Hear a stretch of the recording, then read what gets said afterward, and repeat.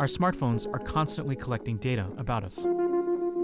From the language we use in our texts and social media posts to what we like to watch and listen to. Our data can alert us to unhealthy habits, lack of sleep, too few steps, too much screen time. Now, some researchers want to use these data to predict when someone might attempt suicide. For decades, scientists have tried to suss out the risk factors for suicide. They've identified some key predictors, but most of these describe a person's long term risk. So, the problem with the known risk factors for suicide, things like mental illness, is that they apply to a huge percentage of the population, and most of us are not at immediate risk of suicide. The other issue is that they don't tend to change very much from day to day, whereas suicidal tendencies can. Mental health professionals can ask patients about their suicidal thoughts and plans directly, but predicting a person's risk still involves some guesswork. Therapists can't monitor at risk people every moment, but maybe smartphones can.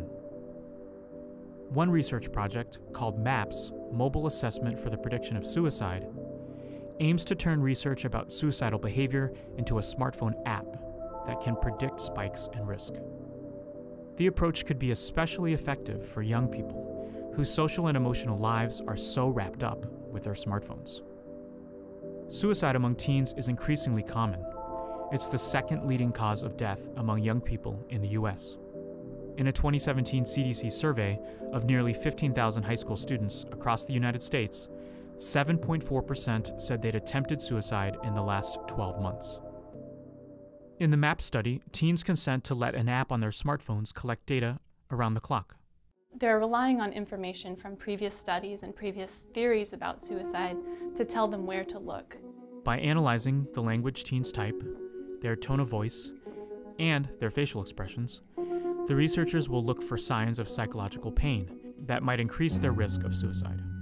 A phone's activity tracking functions can reveal disruptions in a person's sleep habits, such as insomnia which has been associated with suicide in adolescence.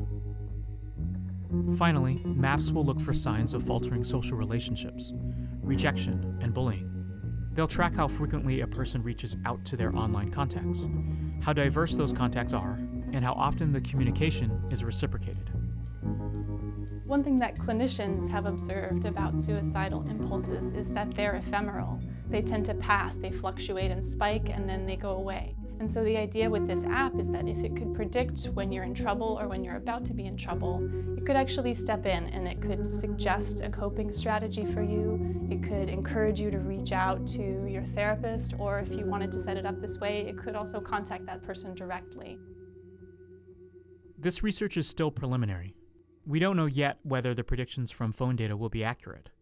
But tracing our digital footprints could someday be a tool to guide people when suicidal impulses are strong, and ultimately save lives.